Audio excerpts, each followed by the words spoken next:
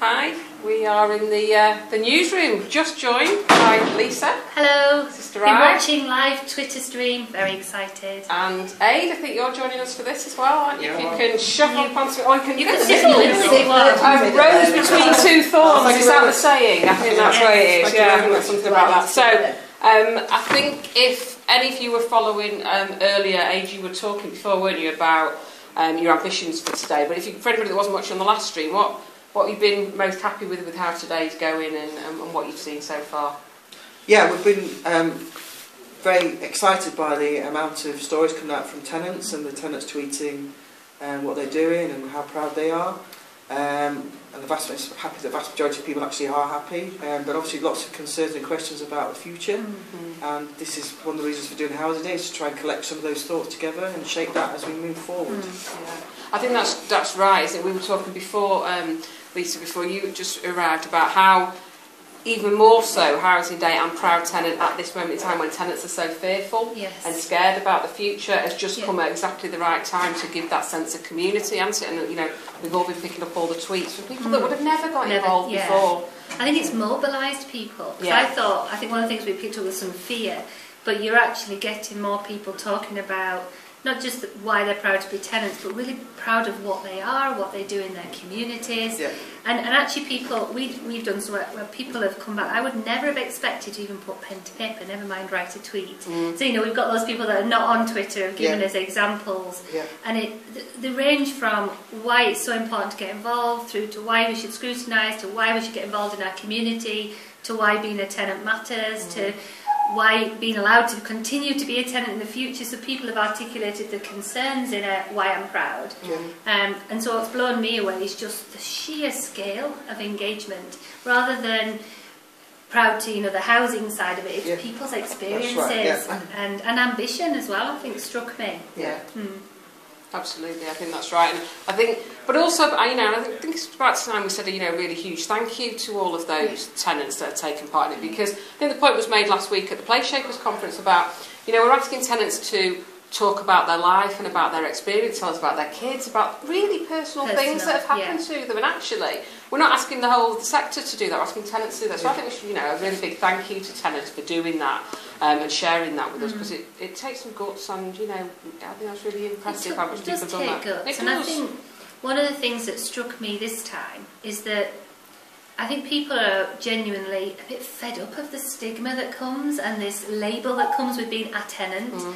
And actually, I think that's really encouraged people to say being a tenant's a good thing, and and to share those experiences. And we know, Jenny, that real stories change hearts and minds, I Yeah. think people have bought into that. Yeah. Um, but it is hard, and some people have been very brave, you know, in terms of what they've said, Mm. and it does require a thank you because there's not many of us would do that. Mm. Actually, to come out and say at a time when society isn't necessarily that tolerant of the word tenant, because that's the so to come out and say why it's good to be a tenant is really brave Mm. Yeah. and inspiring. Yeah. I think it's really good for our staff as well. Yeah, absolutely. Our staff are reading them, and I've heard in the office all day, have you seen that? Wow, have you seen that? So it's created Yeah. lots of discussion. Um, and staff going, now I'm proud to be a housing association, Yeah. or, Yeah. Yeah. and it's encouraged new conversations. We've been engaged with tenants that we had no dialogue with, Yeah. who've come and said, we want to participate. That's just That's brilliant. fantastic. Mm. Yeah. Yeah, absolutely. Yeah. So, any of the kind of tweets that have really spoke to any of you then so far today? I mean, there's been some. I mean, I, I would love. We talked about earlier. There was one from a six-year-old. Oh. We've had a six-year-old tenant sat in the chair talking about what it is to live in a house. I mean, brilliant. I mean, so we've got to that at this Yeah. stage. It's fantastic. Um, right the way up to kind of people in the 90s and probably in the hundreds. So, Hundreds, yeah. you know, you know, what, what other spectrum. sector is, is showing that showcase of people that are involved? It's the diversity of It our tenants, Yeah. isn't it? And the richness that it's not a stereotype. You've got the young teenagers that are wanting to talk, which both sat with, you've got some older people. I, I think some of the things that struck me is just comments around the importance of four walls and a roof over your head, yeah. talking about choices, security res and responsibilities. Someone said, my house enables me to have responsibilities.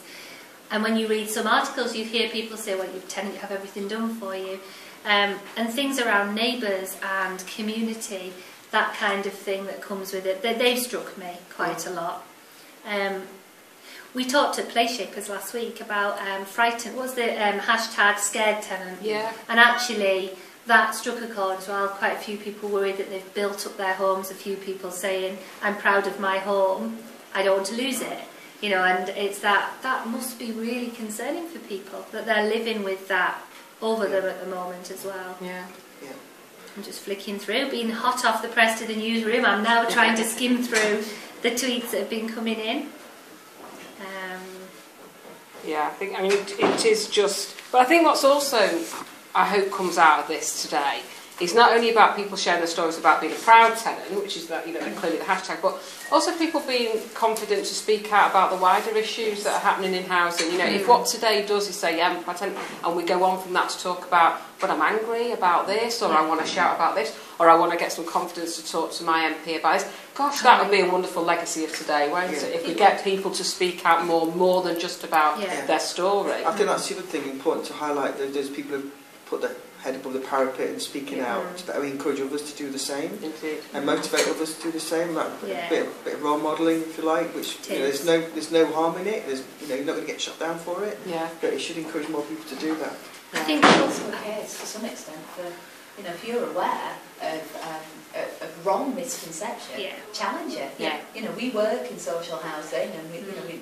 I think everyone has, you know, somebody who has, their lives have been touched by social housing in some way. Mm. A- And I think actually challenge those misconceptions. Don't just sit there and allow it to happen. Yeah. You know, when you see things like these Benefit Britain or whatever programme, Yeah. you should actually feel comfortable standing up and going, no, that's not on and that's not right. Yeah, I think you're absolutely right. We have, I have um, a tenant, not from my association, not even from Leeds, but from the north. In fact, she's a tenant from London, regularly tweets me mm. saying that it's not my job to give her a voice. Saying, you know what, I totally agree with you, but it's our job to try and do whatever we can to facilitate yeah. you mm. to hmm. have the confidence to have a voice. Yeah. And if that's what today's done, and that's moved that forward, it's about what we can do to capitalise on that. Because yeah. I mean, they're just great, you know, there's stories in here You know, so proud of Paul. Despite health issues and bereavements, he's passed his IT qualifications, and an amazing photo of someone that absolutely wouldn't have put their head above the parapet. Mm. You know, and I think the other thing for me, it's not the typical tenants, and I don't mean that in any Yeah. derogatory way, because people say, well, it's bound to be your tenant board member, it's bound to be. These are just general people that live in properties next to mm. each other, wanting to lead quiet lives, I'm quite happy to say. um, I think it's important to, to do that.